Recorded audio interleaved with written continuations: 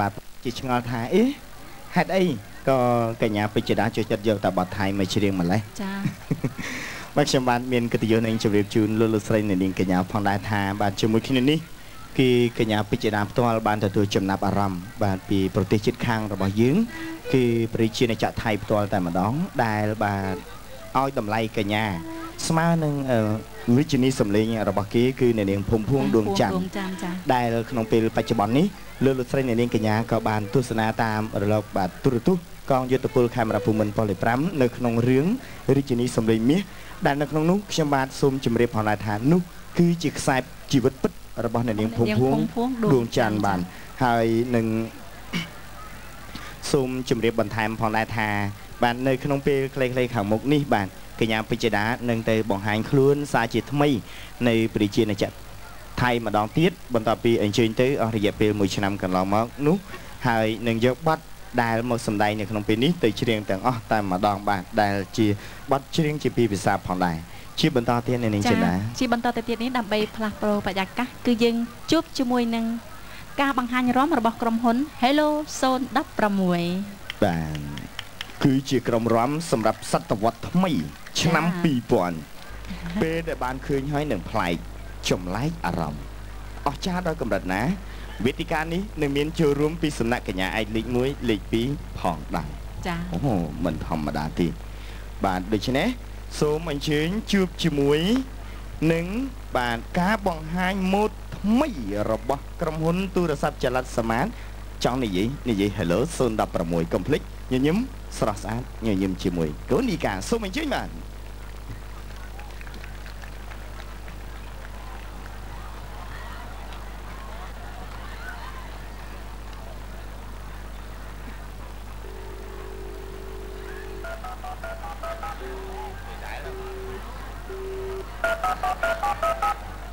Hello?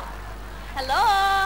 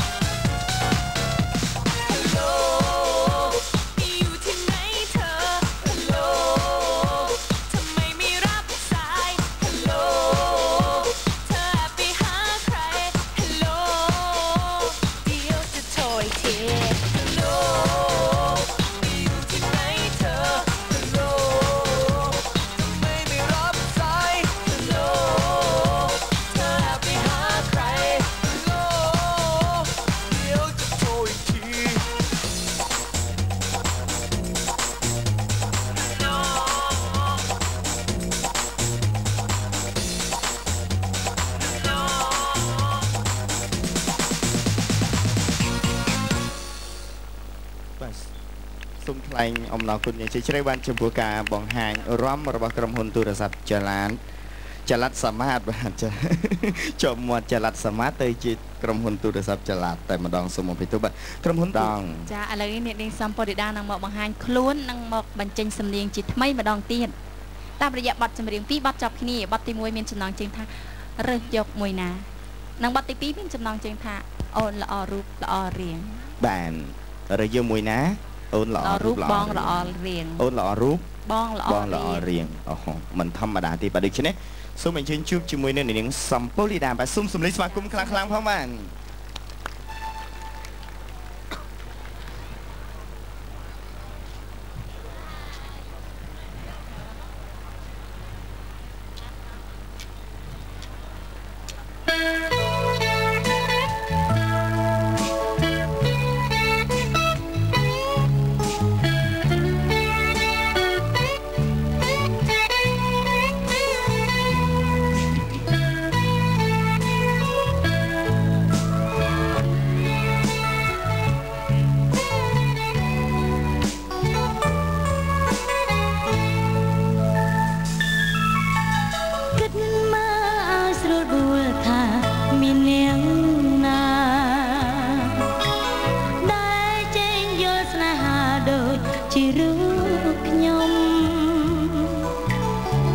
ធ្លាប់មានកំហុស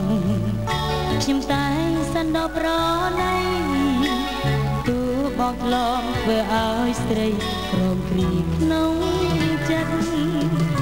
គ្រានេះធ្វើឲ្យខ្ញុំឈឺពេញបែងដោមនដើរគ្នាត្រសងមកបញ្ឈឺចិត្តស្រីលើកនេះអត់អត់ដងតែច្រើន ដងអ្នកណាអត់ទ្រាំបានទោះជាស្លាប់ចាថាក៏ខ្ញុំព្រម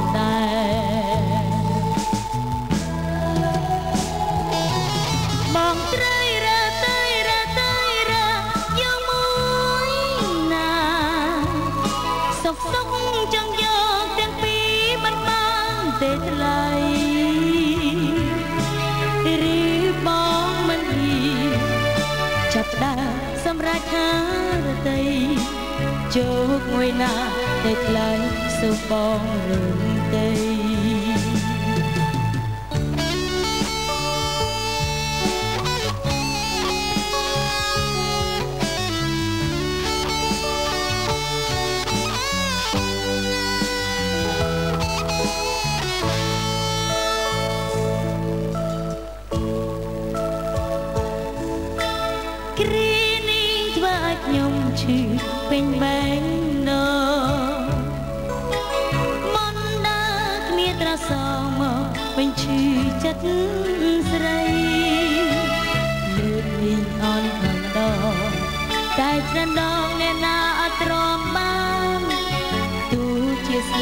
ចាស់ថាក៏ខ្ញុំព្រម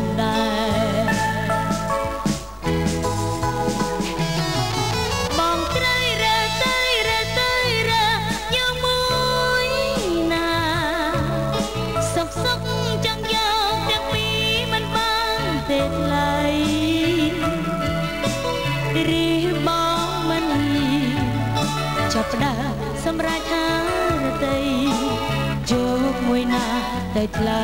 សូមបងរឿងទេ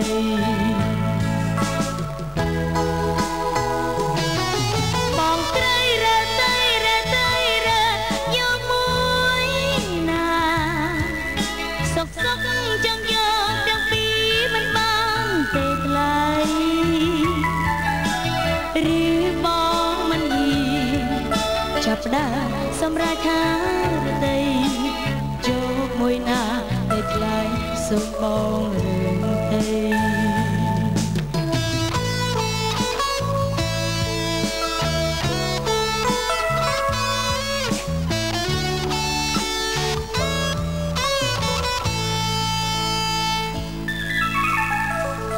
ចាសូមអរគុណ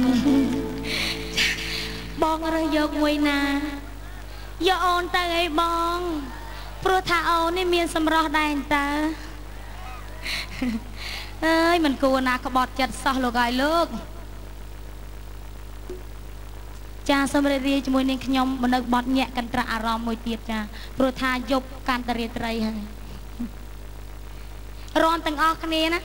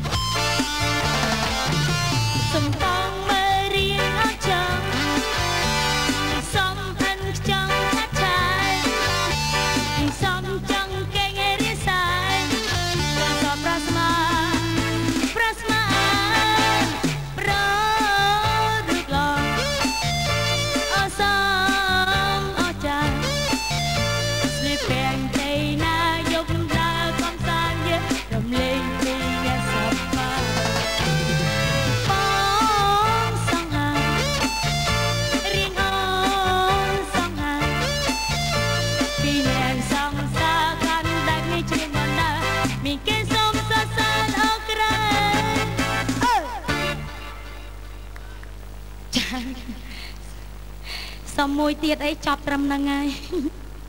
អូយអូយលោកមើលបន្តិចមើលមានរសជាតិយ៉ាងណាដែរ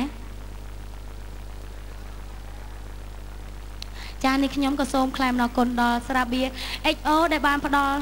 ដល់នាងខ្ញុំនៅមានសម្រស់ដ៏កាន់តែស្អាតញ៉ាំញ៉ាំ XO កាលណាកាន់តែស្អាតពេលហ្នឹងតែម្ដងបើមិនជឿទេបងប្អូនញ៉ាំទៅចាំមានអាឆ្អីយ៉ាងច្រើនមកធ្លាក់ភ្នែកហ្នឹង ចាអូយអរគុណអូន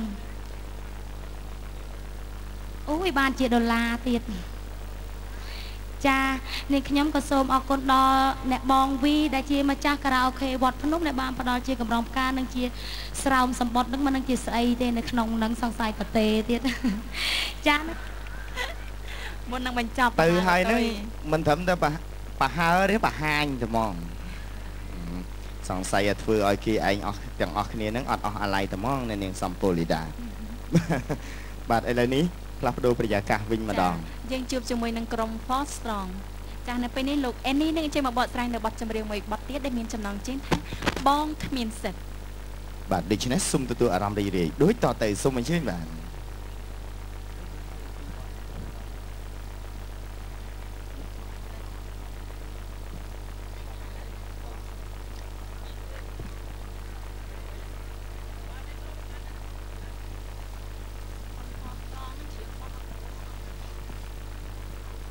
សួស្តីបាទ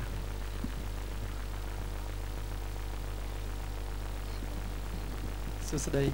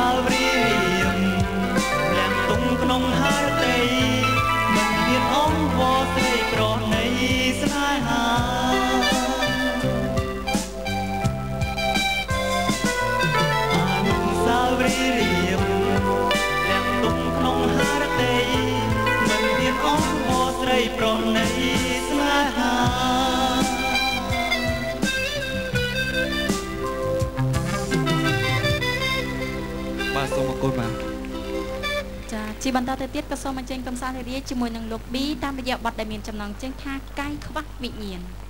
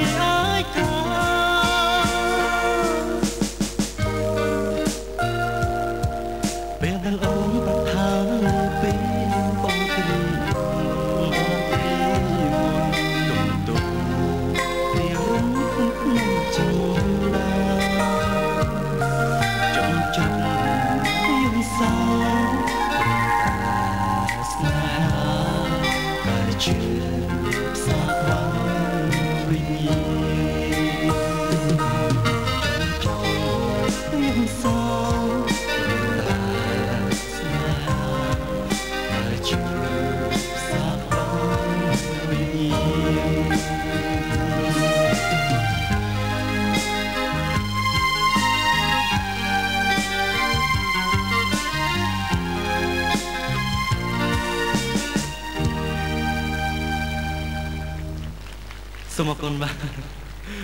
សូមអរគុណបាទជាមួយនឹងការបង្ហាញម៉ូដសម្លៀកបំពាក់សូមជម្រាបថាក្រុមហ៊ុនអានកូជាលបាទដែលនាំចូលនៅផលិតផលបាទរបស់គុណីកាបាទសូមជម្រាបផងដែរថារួមសហការជាមួយនឹងក្រុមហ៊ុនទូរស័ព្ទចល័តសមត្ថបាទរៀបចំប្រព័ន្ធការបង្ហាញម៉ូដទំនើបសម្រាប់ឆ្នាំ2000ចា៎បាទស្ដាប់ទៅប្រហែលជាអស្ចារ្យណាស់តាមពិតអស្ចារ្យមែន អស្ចារ្យយ៉ាងម៉េចទេបាទបន្តិចទៀតលោកលោកស្រីអ្នកនាងកញ្ញានឹងបានជ្រាបហើយខ្ញុំបាទសូមជម្រាបផងដែរថាការបង្ហាត់បង្ហាញបាទគឺបានទទួលការណែនាំពីលោកអ៊ូស្មានបាទគឺជាអ្នកបាទមើលការខុសត្រូវនៅបាទ Power Track Production បាទដែលជួយបង្ហាត់បង្ហាញដូច្នេះ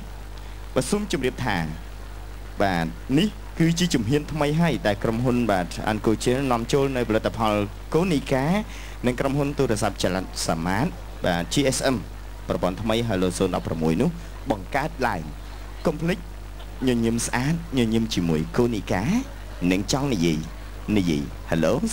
016ដូច្នេះជាបន្តទៅនេះសូមជួបជាមួយនឹងការបង្ហាញសម្លៀកបំពាក់សម្រាប់ឆ្នាំ2000បាទសូមជើញបាទ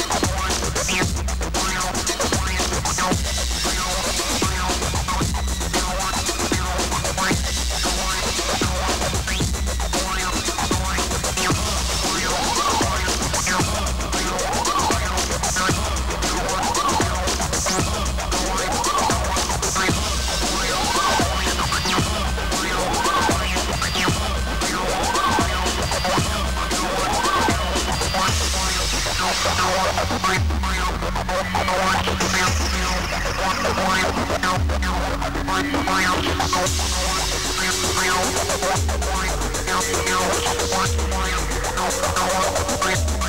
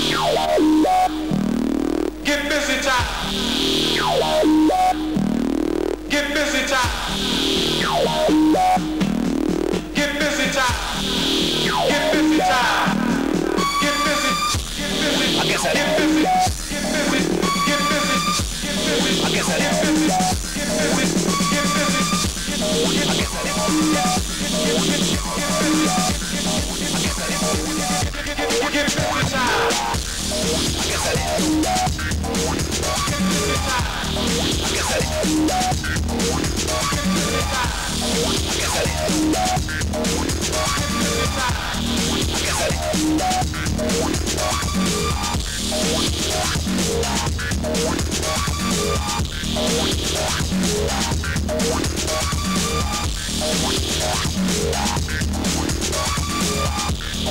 guess I didn't know that.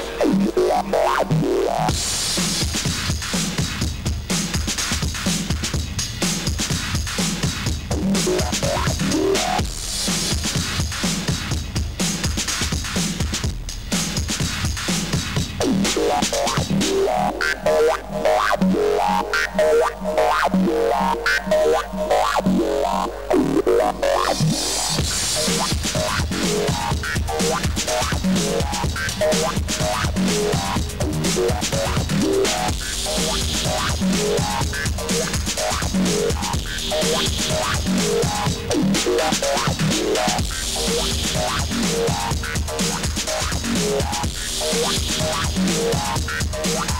guess I, I guess I didn't, I guess I didn't, I guess I didn't know. Get hypnotized.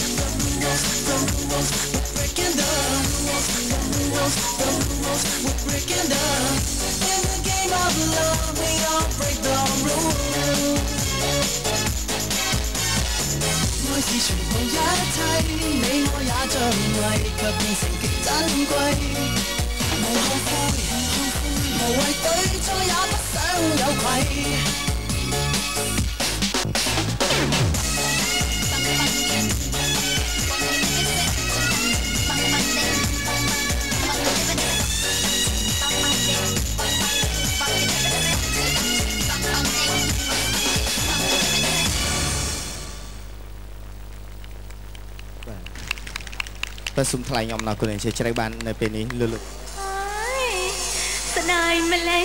ទេពេជ្ជដាមិនទាន់បែកពីអារម្មណ៍អស់លោកលោកស្រីនាងកញ្ញាទេតន្ទឹងចាំយូរប្រហែលជាចាំកញ្ញាមិញក៏ពេជ្ជដាហើយមើលទៅ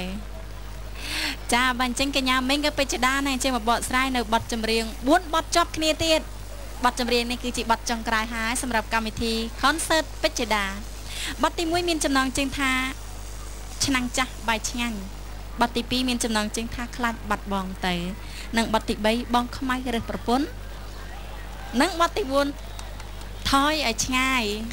បាទហើយសូមជម្រាបផងដែរថាកម្មវិធីយើងគឺមានពេលត្រឹមម៉ោង9តែប៉ុណ្ណោះសង្ឃឹមថាប្រសិនបើលើសមួយបាត់ឬក៏ពីរបាត់អីកញ្ញាពេជ្ជដានឹងជួបរហូតដល់តែចប់ជាមួយនឹងកម្មវិធីផ្សាយបន្តផ្ទាល់ concert ពេជ្ជដាឬក៏ Hello concert សូមទទួលអារម្មណ៍រីករាយជាមួយនឹងកញ្ញាពេជ្ជដាដូចតទៅសូមអញ្ជើញបាទ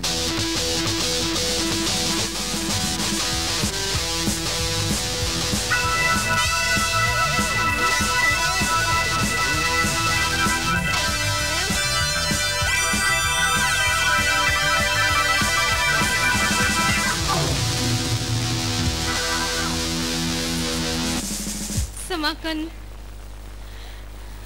យ៉ាងម៉េចការនោះឲ្យនាងខ្ញុំហ៎សុំមកអញ្ចឹងនេះសុំផ្កាតែហ្មងណាអូយចាំយូរហើយនេះផ្កាឡើងរីកអស់រលីងចាអីក៏អូបណាស់លោកអើយចា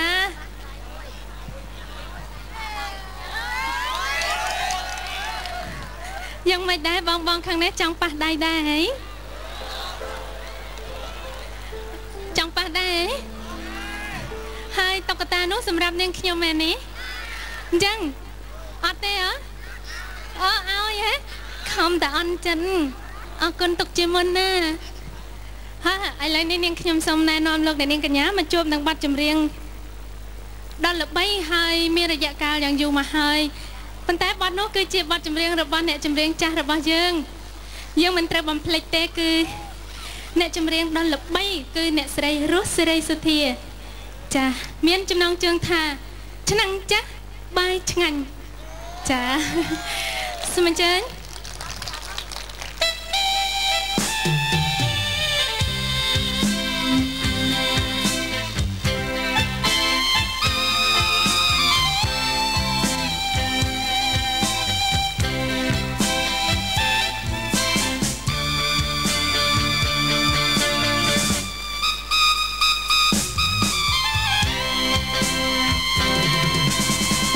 ធ្វើមិនដេញញ៉ៃលើប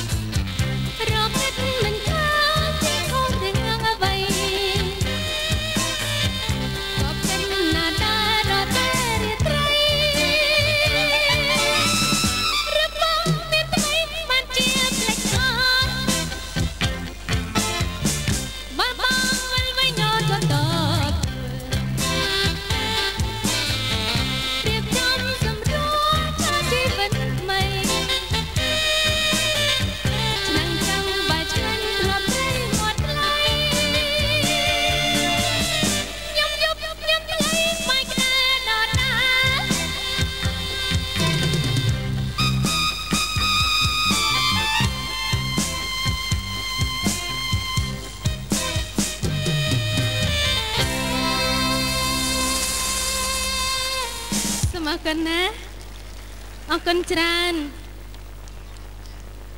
ផ្កាអឺអូអរគុណច្រើនណាអរគុណច្រើន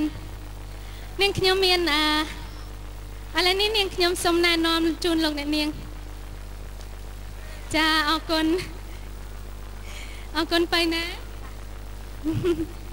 នេះតម្រង់មកពីនាយត្មងអរគុណច្រើនយីមិនធម្មតាទេណែគឺថា ទម្រាំនឹងធ្វើបានមិនដឹងជាចំណាយពេលអស់ប្រហែលទេអរគុណច្រើនអរគុណច្រើនមែនតើអឺមានបងប្អូនមួយចំនួនគាត់បានសំណូមពរឲ្យនាងខ្ញុំបកស្រាយនៅបទចម្រៀងដែលជាអឺច្រៀងគ្មានភ្លេងមួយបទព្រោះគាត់ចង់ដឹងថាតើពេជ្ជតាច្រៀងគ្មានភ្លេងសំឡេងយ៉ាងណាដែរពីព្រោះថាធ្លាប់តែច្រៀងជាមួយភ្លេងចានាងខ្ញុំមិនយល់តោះទេ ដើម្បីបំពេញសំណុំពរនាងខ្ញុំសូមអញ្ជើញបងប្អូនជាពិសេសគឺម្ចាស់សំណុំពរផ្ទាល់តែម្ដងសូមអញ្ជើញស្ដាប់ណាបទចម្រៀងគ្មានភ្លេងចាអឺមានចំណងជើងថាកនសែងកែឪពុកសូមអរគុណផ្ទះដៃមិញអរគុណតែមួយឃ្លាទេហើយសូមញ៉ាំទឹកមួយផ្លែតសិន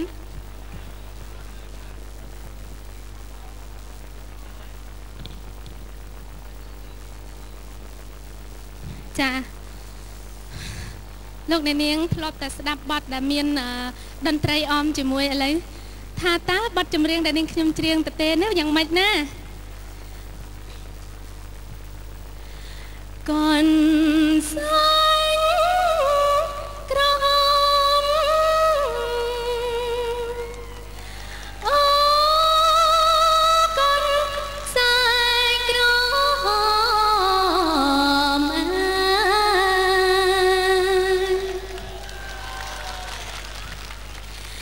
ញតា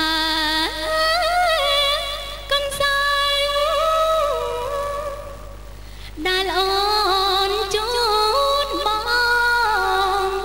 ធម្មជាតិទាំងពួងហឹងយំស្នេហ៍បងដែលខ្សែសងខាកូនសែង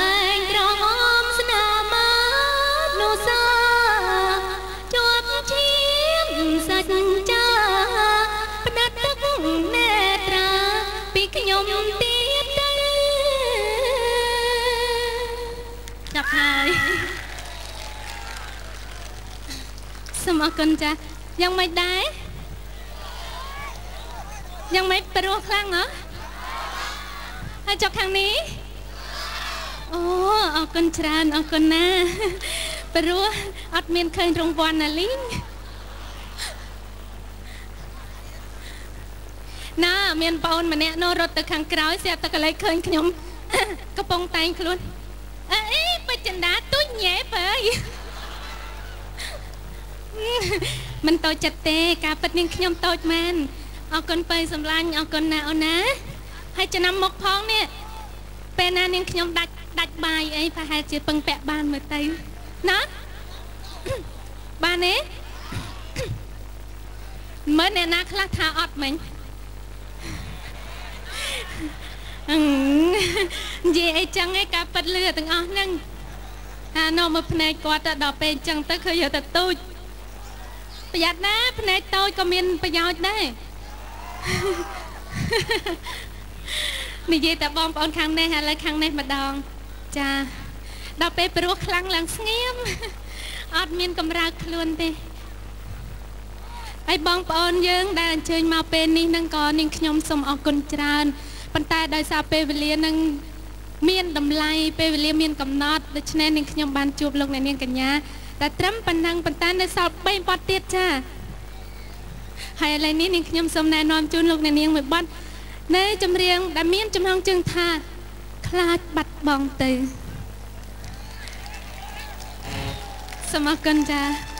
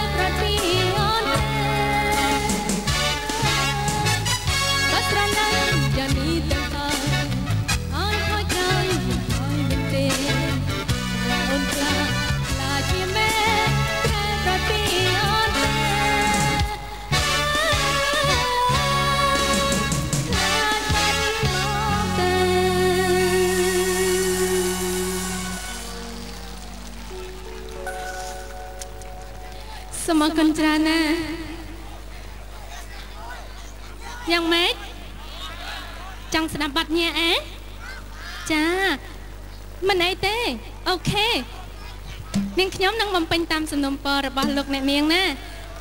ហើយនាងខ្ញុំក៏សូមអរគុណច្រើន ចំពោះបងប្អូនដែលអញ្ជើញមកផ្ទាល់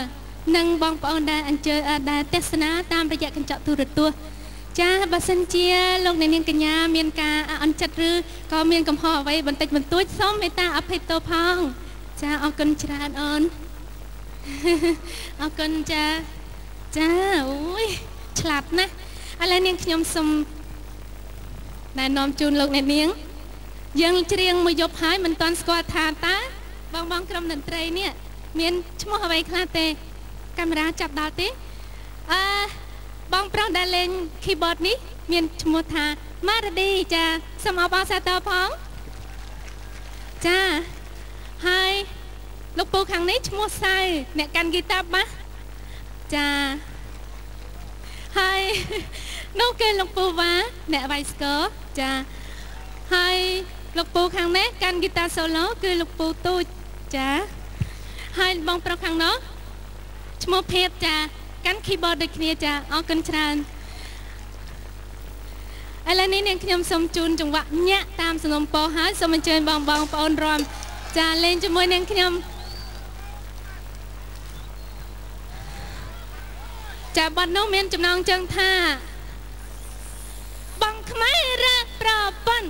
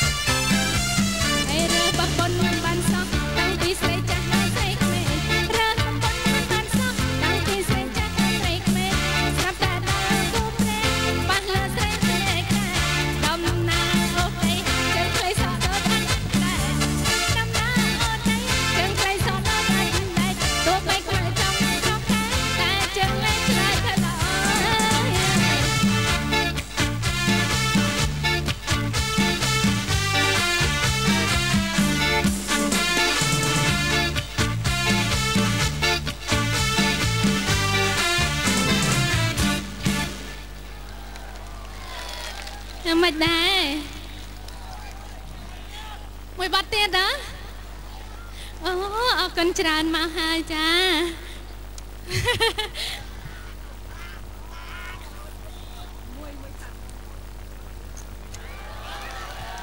អូសូមអរគុណអ្នកមីងអរគុណច្រើន ចានាងខ្ញុំសូមអរគុណចំពោះតុក្កតាដ៏ស្រស់ស្អាតព្រមទាំងបាច់ផ្កាកម្រងផ្កាដ៏ក្រអូបនេះចាហើយ សូមថ្លែងអំណរគុណទឹកចិត្តគ្រប់ត្រដែលផ្ដល់កិត្តិយសដល់នាងខ្ញុំដោយមិនស្ដាយពេលវេលាចាឥឡូវសូមជួបជាមួយនឹងបទចម្រៀងមួយបទទៀតបទញាក់ទៀតហើយហើយគឺជាបទចុងក្រោយផងបទអ្វីទៅណោះ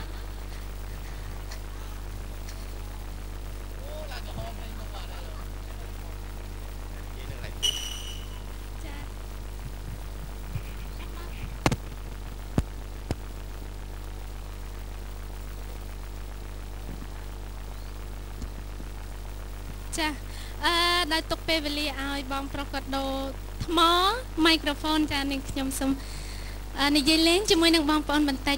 ថ្ងៃនេះសប្បាយចិត្តទេអើអរគុណច្រើនចាដល់កម្រិតណាដែរឥឡូវនេះនាងខ្ញុំសូមជូនចំចម្រៀងមួយបទដែលជាបទបញ្ចប់ទៅហើយនាងខ្ញុំសោកស្ដាយណាស់ដែលពេលវេលាយើងមានកំណត់ណាបា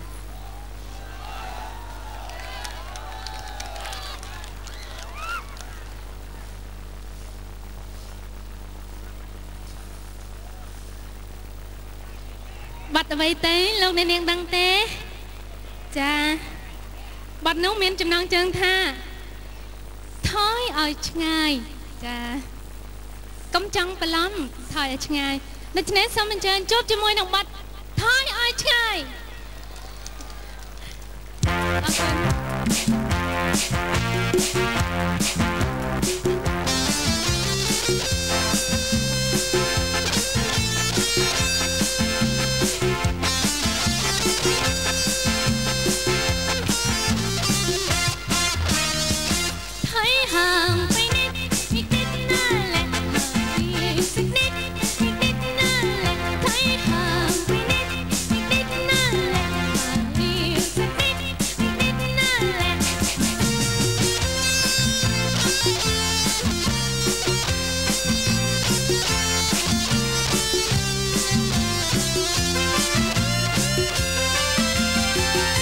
na na na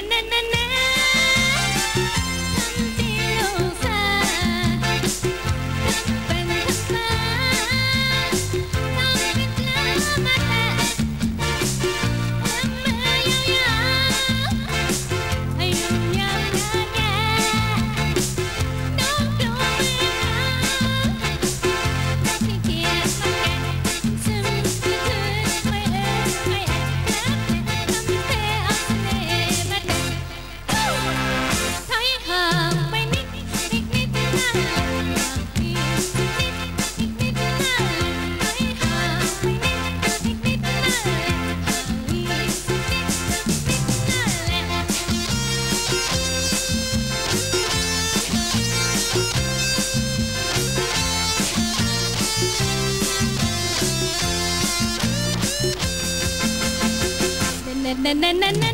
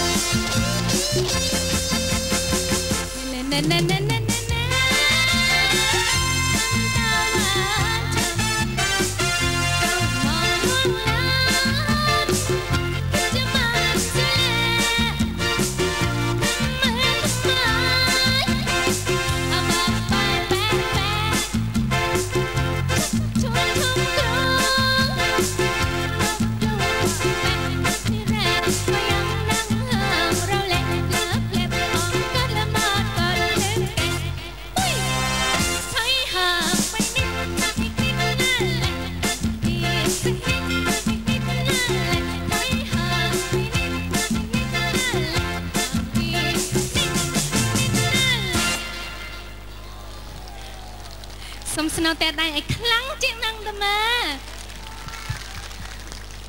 សូមអរគុណចាអរគុណច្រើនអរគុណខ្លាំងមែនតើហើយនៅរាត្រីនេះអូយសុំថើបទៀតហើយខ្ញុំមិនដាំដងទេអីអូអរគុណច្រើនអរគុណណាអរគុណច្រើនអូយតើតែចប់ហើយបានមកលោកអើយសូមអរគុណណា អឺដោយដោយពេលវេលា បានមកដល់ហើយនាងខ្ញុំពេជ្ជដាមានការសោកស្ដាយណាស់សូមលំអរកាយជំរាបលាបងប្អូនទាំងអស់ពុកម៉ែមីងមាដែលអញ្ជើញមកទស្សនាទីនេះក្តីនិងតាមរយៈកញ្ចក់ទូរទស្សន៍ក្តីសូមថ្លែងអំណរគុណហើយម្ដងហើយម្ដងទៀតហើយនឹងសូមជូនពរក្នុងឱកាសឆ្នាំថ្មីនេះសូមឲ្យបងប្អូនទាំងអស់បានប្រកបដោយសេចក្តីសុខពុទ្ធពរ4ប្រការ ហើយជាពិសេសសូមឲ្យសម្រេចអ្វីដូចបំណងប្រាថ្នាអញ្ចឹងសូមអរគុណច្រើនណាជួបគ្នាលើកក្រោយបាយបាយលាហើយបាទសូមថ្លែងអំណរគុណចំពោះកញ្ញាពេជ្ជដាហើយនៅក្នុងនោះខ្ញុំបាទសូមជម្រាបផងដែរថា Hello Concert បាទនឹងវិលមកជួបលោកលោកស្រីអ្នកនាងកញ្ញាសាជាថ្មីបាទនៅក្នុងពេលខាងមុខឆាប់ឆាប់នេះជាពិសេសបាទកម្មវិធីថ្ងៃនេះដែលកើតឡើងបានគឺកម្មវិធីរបស់យើងបានទទួលការឧបត្ថម្ភ ពីក្រុមហ៊ុនទូរស័ព្ទចល័តសមាតបាទប្រព័ន្ធថ្មី GSM 016ចង់និយាយនិយាយ Hello 016ក្រុមហ៊ុន Ango Brother ក្រុមហ៊ុន Ango Chill បាទដែលបានផ្ដល់ការឧបត្ថម្ភដល់កម្មវិធីយើងគឺ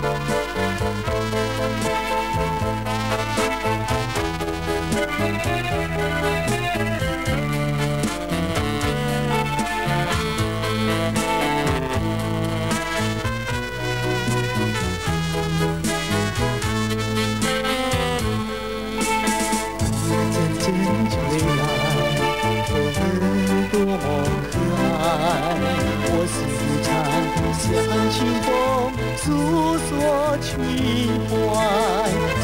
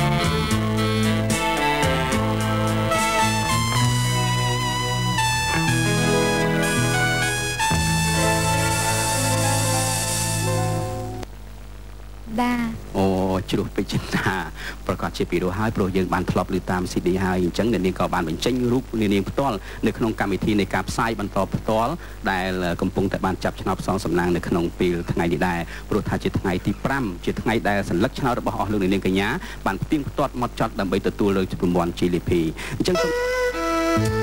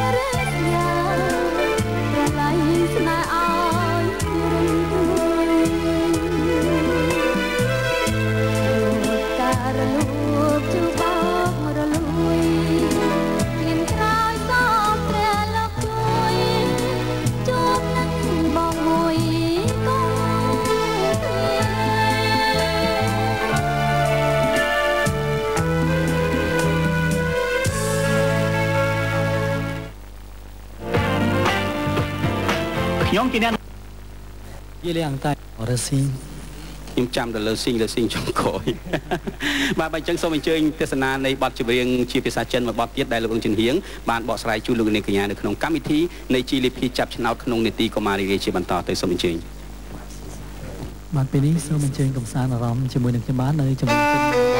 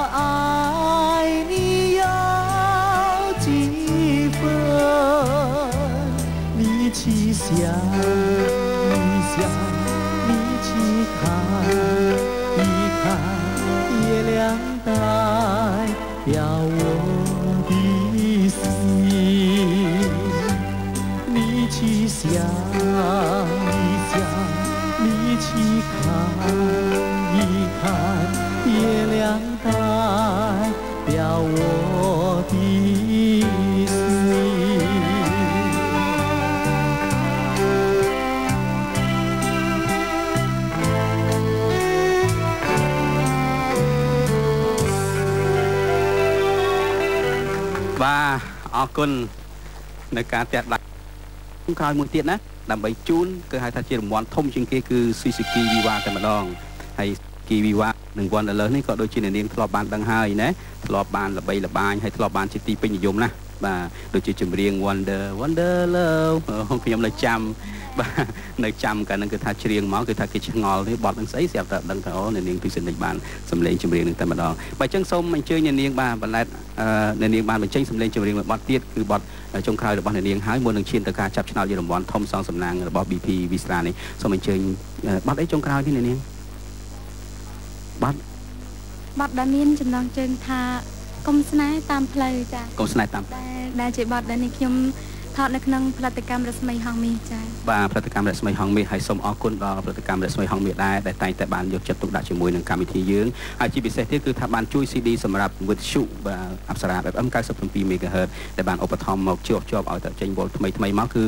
ក្រុមហ៊ុនបានជួយមកកម្មវិធីរបស់យើងជាប់អរគុណដល់ក្រុមហ៊ុនរស្មីហងមាសហើយជាពិសេសទៀតក៏នាងបានបានបម្រើលោកនាងកញ្ញាច្រើននៅតាមវល់ផ្សេងផ្សេងនៅថ្មីថ្មីហ្នឹងណាគឺចេញពីរស្មីហងមាសតែម្ដងបាទសូមអញ្ជើញលោកនាងកញ្ញារីករាយជាមួយនឹង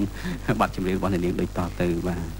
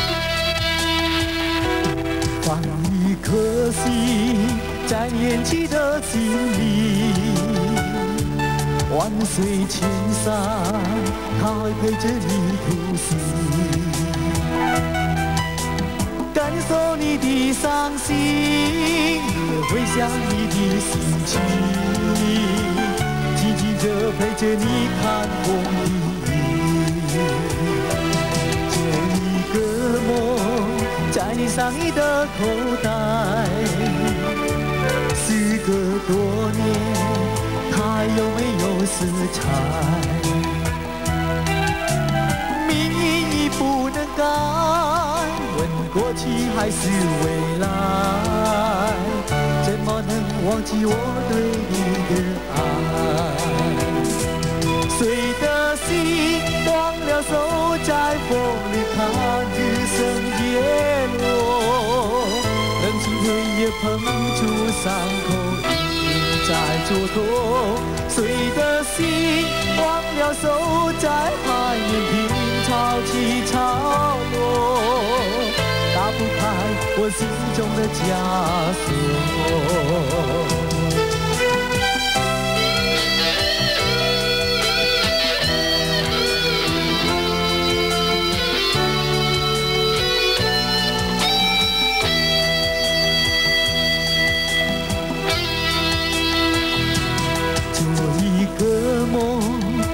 在你上衣的口袋，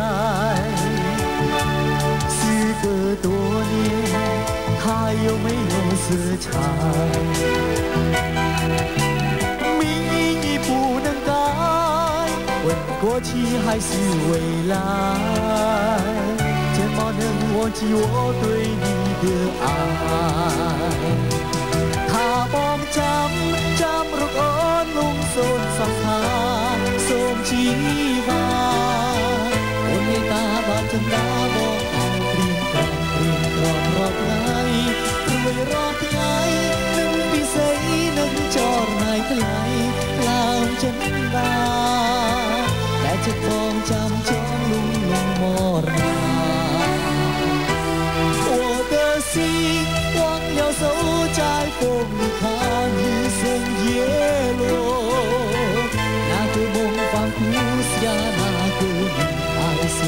得，我的心忘了守，在海面平潮起潮落，解不开我心中的寂寞。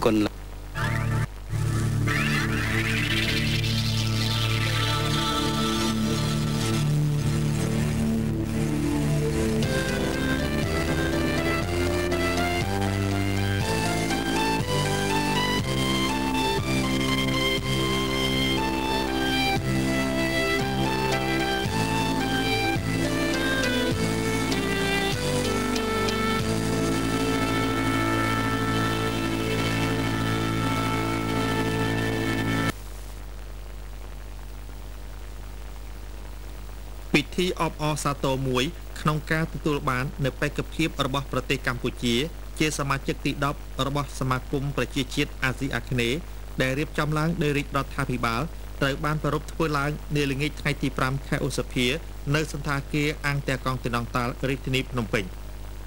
ពិធីដ៏មានអត្ថន័យនេះត្រូវបានយាងនិងអញ្ជើញចូលរួមពីសំណាក់សម្ដេចជាស៊ីមប្រធានព្រឹទ្ធសភាជាតិ សម្ដេចក្រមព្រះនរោត្តមរណរដ្ឋប្រធានរដ្ឋសភាជាតិសម្ដេចហេងសំរិនអនុប្រធានទី1រដ្ឋសភាជាតិនិងលោកជំទាវសម្ដេចហ៊ុនសែននាយករដ្ឋមន្ត្រីនៃរាជរដ្ឋាភិបាលកម្ពុជានិងលោកជំទាវព្រមទាំងសមាជិកសមាជិកាស្ថាប័នព្រឹទ្ធសភារដ្ឋសភារាជរដ្ឋាភិបាលតំណាងស្ថានទូតទាំង9ប្រទេសនៃសមាគមអាស៊ាន និងអង្គទូតប្រទេសនានាប្រចាំកម្ពុជាព្រមទាំងភ្ញៀវជាតិអន្តរជាតិនានាប្រចាំកម្ពុជា អាយឧត្តមហៅណាំហុងទេសរដ្ឋមន្ត្រី និងជារដ្ឋមន្ត្រីក្រសួងការបរទេសនិងសហប្រតិបត្តិការអន្តរជាតិមានប្រសាសន៍នៅក្នុងឱកាសនេះថា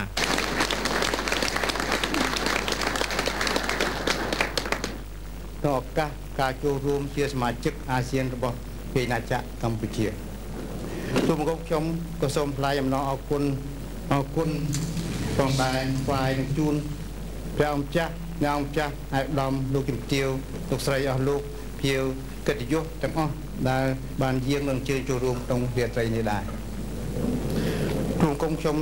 ជឿជាក់ថាសម្ដេចគុំព្រះសម្ដេចព្រះអង្គម្ចាស់អ្នកអង្គម្ចាស់អាយឧត្តមលោកជំទាវលោកស្រីនិងអស់លោកនៅចាំបានថាកិច្ចប្រជុំលើកទី6នៃប្រមុខរដ្ឋប្រមុខរដ្ឋាភិបាលរបស់អាស៊ានជាខែធ្នូឆ្នាំ1998 នៅទីក្រុងហាណូយបានសម្រេចជាផ្លូវការដោយកុងសុងស៊ុយ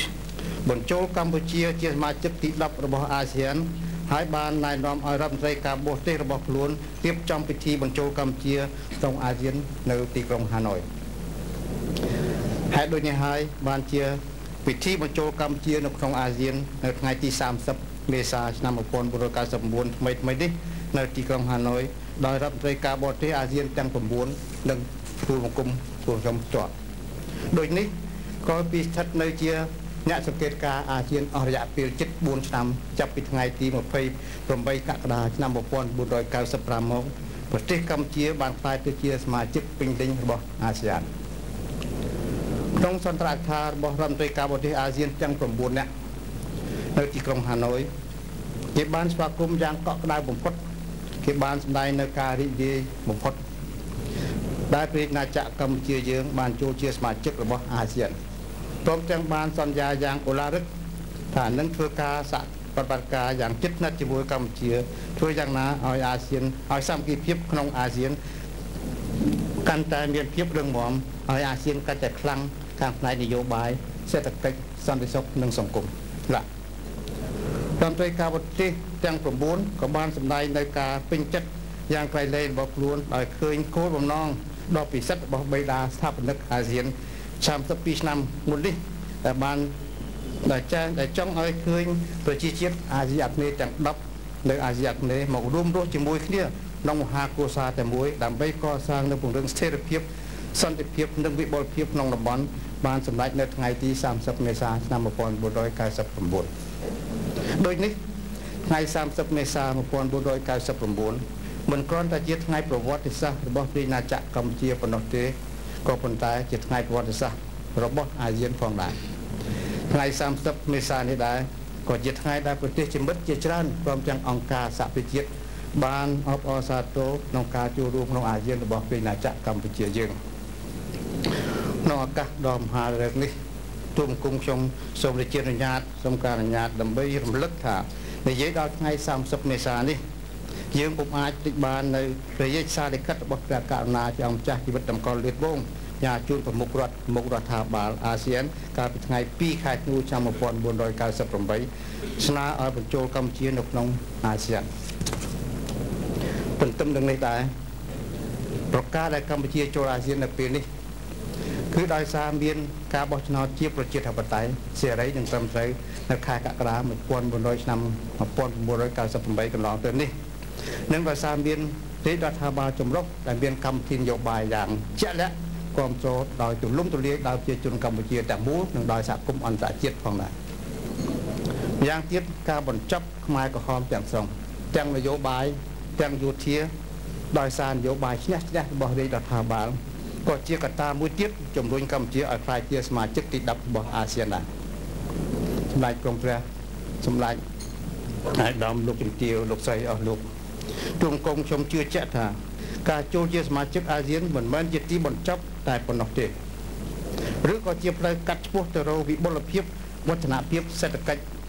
និងសង្គមឲ្យឯឯងនោះទេយើងចាំបាច់ទៅខិតខំឲ្យអស់ពីលទ្ធភាពដើម្បីធ្វើយ៉ាងណាឲ្យការសម្រេចឲ្យសម្រេចបាននៅ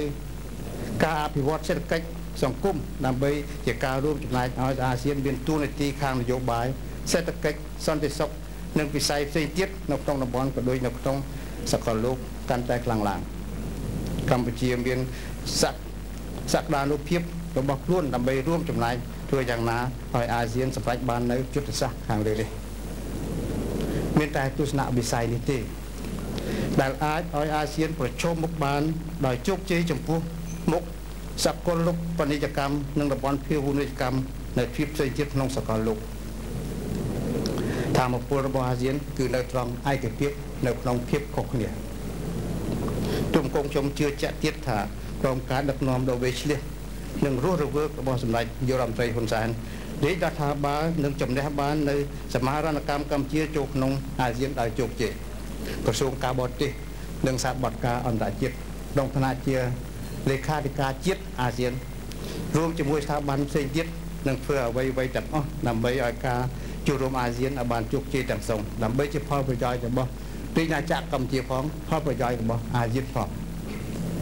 ជុំគុំក៏មានជំនឿទៀតថាស្មារតីសាមគ្គីភាពការជួយគ្នាទៅវិញទៅមកការបន្តពង្រឹងថែមទៀតទូនាទីរបស់អាស៊ានក្នុងកិច្ចការសកលលោកក្នុងគោលដៅនេះកម្ពុជាសង្ឃឹមថាតើអនាគតអាស៊ាននឹងស្វែងរកនៅរូបមន្តមួយរកឃើញ អ្វីដែលធ្វើឲ្យមានឯកភាពគ្នាលើគ្រប់បញ្ហាតាក់ទងក្នុងតំបន់ក៏ដូចនៅក្នុងបញ្ហាអន្តរជាតិដើម្បីរួមចំណែកថែរក្សាសន្តិភាព និងពង្រឹងបាននៅកិច្ចសហប្រតិការអន្តរជាតិកម្ពុជាមានសុតិធិនិយមចំពោះទានទីរបស់ខ្លួននៅក្នុងអាស៊ានក៏ដូចជាទួលនីតិរបស់អាស៊ាននៅក្នុងសកលលោកសម្ដេចសម្ដេចគ្រប់ព្រះសម្ដេចព្រះចាស់ អ្នកអង្គចាស់អាយដាមលោកជំទាវលោកស្រីអស់លោកជាទីបញ្ចប់ទូគុំខ្ញុំជាតិយកឱកាសដ៏ល្អនេះដែរថ្លែងអំណរគុណយ៉ាងជ្រាលជ្រៅនិងយ៉ាងស្មោះស្ម័គ្រចំពោះសហសេវករបស់ទូគុំខ្ញុំគឺរដ្ឋត្រីការបរទេសអាស៊ានទាំង9តាមរយៈអាយដាមអគ្គរដ្ឋទូតអគ្គរដ្ឋទូតនិងធិរៈធារីដែលមានមុខនៅទីនេះចំពោះការស្វាគមន៍យ៉ាងកក់ក្ដៅកម្ពុជាចូលក្នុងអាស៊ានជាសមាជិកទី10 នៅទីក្រុងហាណូយនៅថ្ងៃ30មេសាឆ្នាំ1999កន្លងទៅនេះទូលគុំខ្ញុំក៏សូមថ្លែងអំណរប្រគុណអំណរគុណថ្វាយនិងជូនសម្ដេចក្រមព្រះសម្ដេចអង្គចាស់និងអង្គចាស់លោកជំទាវឯកឧត្តមលោកស្រីអស់លោកទាំងអស់បានរួមចំណែកដល់ការធ្វើឲ្យបានសម្រេចនៅសមាជិកភាពរបស់អាស៊ានរបស់កម្ពុជានៅក្នុងអាស៊ានសូមអរគុណសូមអរគុណ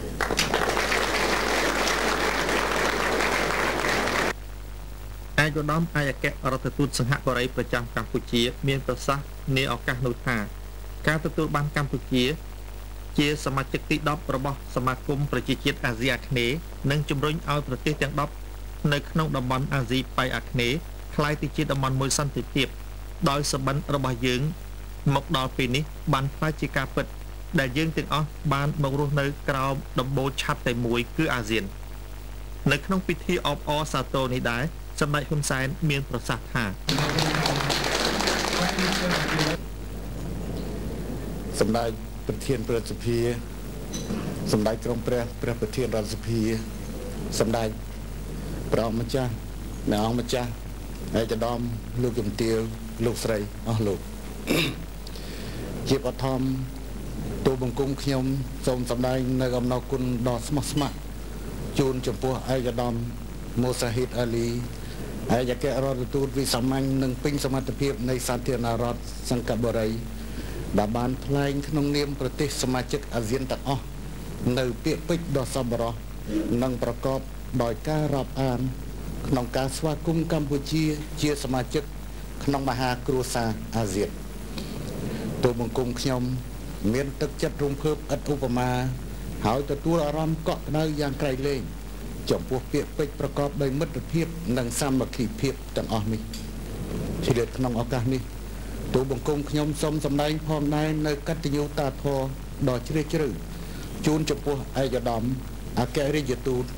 ឯកឧត្តមអគ្គរដ្ឋទូតតំណាងប្រទេសជាសមាជិកអាស៊ានទាំងអស់ហើយតាមរយៈឯកឧត្តមជូនចំពោះរដ្ឋាភិបាលរបស់ឯកឧត្តមគ្រប់រូបដែលបានអនុម័តជាឯកច្ឆន្ទស្វាគមន៍ប្រជាជាណាចក្រកម្ពុជា នៅក្នុងមហាគ្រួសារអាស៊ានជាមួយគ្នានេះដែរទូលបង្គំខ្ញុំសូមសម្ដែងនៅការដឹងគុណដ៏សោះស្ម័គ្រនិងជ្រាលជ្រៅបំផុតចំពោះបណ្ដាមិត្តទាំងអស់នៅក្នុងអង្គទូតចំពោះតំណាងតលរបស់អគ្គលេខាធិការអង្គការសហប្រជាជាតិទីភ្នាក់ងារទាំងឡាយនៃអង្គការសហប្រជាជាតិនិងតំណាងរបស់អង្គការអន្តរជាតិនានាព្រមទាំងតំណាងនៃសហគមន៍អង្គការក្រៅរដ្ឋាភិបាលជាច្រើនទៀត ដែលបានស្ថិតនៅជាមួយយើងខ្ញុំគ្រប់កលៈទេសៈផ្ដល់យោបល់និងមតិល្អល្អល្អដល់យើងខ្ញុំហើយជួយយើងខ្ញុំឲ្យជំនះបាននៅរាល់ការលំបាកនិងឧបសគ្គទាំងពួងដោយសារមានការជួយឧបត្ថម្ភគ្រប់គ្រងដល់ថ្លៃថ្លាទាំងអស់នេះហើយទើបយើងខ្ញុំអាចសម្រេចបាននៅសមិទ្ធផលធំធំជាបន្តបន្តហើយនៅពេលនេះកម្ពុជាបានទទួលអារម្មណ៍ថា មានសវត្ថភាពយ៉ាងកក់ក្ដៅនៅក្នុងមហាគ្រួសារអាស៊ានសមាជិកភាពនៅក្នុងអាស៊ាននាពេលនេះ បានបើកទូលាយថែមទៀតនៅទស្សនៈអនាគតរបស់កម្ពុជា សម្រាប់រយៈពេលវែងឆ្ងាយខាងមុខសម្ដេចក្រុងព្រះសម្ដេចព្រះអង្គម្ចាស់អ្នកអង្គម្ចាស់ឯកឧត្តមលោកជំទាវអស់លោកលោកស្រីសមាជិកភាពកម្ពុជារបស់កម្ពុជានៅក្នុងអាស៊ាន គឺជាទិសដៅ គោលនយោបាយជាអត្ថិភាពមួយយ៉ាងសំខាន់របស់រាជរដ្ឋាភិបាលកម្ពុជានៅក្នុងអាស៊ាន គឺជាភាពចាំបាច់នៃនយោបាយភូមិសាស្ត្រនិងសេដ្ឋកិច្ចភូមិសាស្ត្រអាស្រ័យហេតុនេះ ចំពោះរាជរដ្ឋាភិបាល និងប្រជាជនកម្ពុជា ការចូលអាស៊ានរបស់កម្ពុជា គឺជាព្រឹត្តិការណ៍មួយ ដែលមានអត្ថន័យជាប្រវត្តិសាស្ត្រហើយមានឥទ្ធិពលវែងឆ្ងាយសម្រាប់អនាគតរបស់ប្រទេសជាតិ ទូបង្គំជឿខ្ញុំជឿជាក់ថាសម្ដេចព្រះអង្គម្ចាស់អ្នកអង្គម្ចាស់ឯកឧត្តមលោកជំទាវអស់លោកលោកស្រីទាំងអស់ពិតជាមានមโนសញ្ចេតនាដោយទូបង្គំខ្ញុំផងដែរនេះថានេះជាគឺជាឱកាសដល់អ្នកខិតរិទ្ធសម្រាប់ប្ររពធ្វើឡើងនៅពិធីអបអរសាទរដ៏ធំមួយពិតណាស់ថា មានអ្នកនយោបាយបំផ្លិចបំផ្លាញមួយចំនួនមិនសប្បាយ ចំពោះព្រឹត្តិការណ៍នេះតតែសោះនៅពេលដែលប្រជាជនកម្ពុជាទាំងមូលខិតខំធ្វើការដើម្បីបានចូលជាសមាជិករបស់អាស៊ានពួកគេគឺជាអ្នកបន្តិចបណ្ដាក់ស្រែកអំពាវនាវកុំឲ្យអាស៊ានទទួលយកកម្ពុជាឥឡូវនេះ នៅពេលកម្ពុជាបានក្លាយទៅជាសមាជិកពេញសិទ្ធិរបស់អាស៊ានគេនាំគ្នាស្រែកទៀតថាអាស៊ានមិនមែនជាផលប្រយោជន៍របស់កម្ពុជាទេ ហើយសម្រាប់អាស៊ានវិញកម្ពុជាគឺជាបន្ទុកដ៏ធ្ងន់ធ្ងរ និងជាគ្រឿងទុកដ៏គ្រោះថ្នាក់សម្រាប់អាស៊ានតើពួកគេទាំងអស់នោះចង់បានអ្វីប្រហែលជាគេចង់ឲ្យប្រទេសកម្ពុជាបន្តស្ថិតនៅក្នុងចំនួនភាពអន់ថយអស្ថិរភាពនិងភាពឯកោតទៅទៀតឬក៏ពួកគេចង់ឲ្យអាស៊ីអាគ្នេយ៍បន្តស្ថិតនៅក្នុងតំបន់អស្ថិរភាពនិងអសន្តិសុខឬក៏គេទាំងនោះធ្វើការឲ្យអំណាចខាងក្រៅណាមួយដែលភ័យខ្លាច ហើយមិនចង់ឃើញចក្ខុវិស័យអាស៊ាន10ខ្លាចជាការពិត ដែលជាការពង្រឹងនិងបង្កើនឥទ្ធិពលព្រមទាំងសក្តានុពលនុភាពនយោបាយនិងសេដ្ឋកិច្ចរបស់អាស៊ីអាគ្នេយ៍ទាំងមូលលើឆាកអន្តរជាតិទូបង្គំខ្ញុំមានជំនឿថា សម្រាប់អាស៊ាន កម្ពុជាគឺជាប្រភពធម្មពលមួយដ៏សំខាន់សម្រាប់អង្គការតំបន់នេះ ហើយកម្ពុជានឹងរួមចំណែកពង្រឹងស្មារតីអាស៊ាន ដើម្បីសន្តិភាពស្ថិរភាពមិត្តភាពសហប្រណិបត្តិការនិងសាមគ្គីភាពជិតស្និទ្ធនៅក្នុងតំបន់សម្ដេចព្រះអង្គម្ចាស់អ្នកអង្គម្ចាស់ហើយយដំលោកជំទាវលោកលោកស្រីទាំងអស់ពិតជាយល់ស្របជាមួយទូបង្គំខ្ញុំថា ការចូលរបស់កម្ពុជាអាស៊ានរបស់កម្ពុជា គឺជាជោគជ័យរបស់យើងទាំងអស់គ្នា សម្រាប់ប្រជាជនកម្ពុជាទាំងមូល សម្រាប់ប្រជាជាតិអាស៊ីអាគ្នេយ៍ទាំងអស់និងសម្រាប់មិត្តរបស់កម្ពុជាវាជាជោគជ័យរបស់អ្នកស្នេហាសន្តិភាពស្ថិរភាពមិត្តភាពសហប្រណិប័តការនិងវិបុលភាពសម្រាប់មនុស្សជាតិទាំងមូលសម្ដេចក្រុងព្រះសម្ដេចព្រះអង្គម្ចាស់អ្នកអង្គម្ចាស់ឯកឧត្តមលោកជំទាវអស់លោកលោកស្រីក្នុងនាមជាមេដឹកនាំមួយរូបរបស់ប្រទេសកម្ពុជាទូបង្គំខ្ញុំអាចចាត់ទុកខ្លួនឯងបានថា ជាអ្នកផ្ដួចផ្ដើមគំនិតមួយរូបក្នុងចំណោមអ្នកផ្ដួចផ្ដើមគំនិតផ្សេងទៀតដែលចង់ឃើញកម្ពុជាស្ថិតក្នុងគ្រួសារអាស៊ាន ហើយបានខិតខំអស់កម្លាំងកាយចិត្តដើម្បីសម្រេចបាននៅទិសដៅនេះតើអ្វីទៅជាភាពតាក់ទាញរបស់អាស៊ានសម្រាប់កម្ពុជា តាមមតិរបស់ទូបង្គំខ្ញុំអាស៊ានមានចំណុចខ្លាំង4សំខាន់គឺទី1 អាស៊ានបង្កើតបាននៅបរិស្ថានតំបន់មួយ ដែលមានសន្តិសុខសន្តិភាពនិងស្ថិរភាព ដែលអនុញ្ញាតឲ្យតំបន់នេះរីកលូតលាស់បាននេះគឺចំណុចខ្លាំងដ៏សំខាន់របស់អាស៊ានពិតណាស់ថាសន្តិសុខនិងស្ថិរភាពនៅក្នុងតំបន់នេះ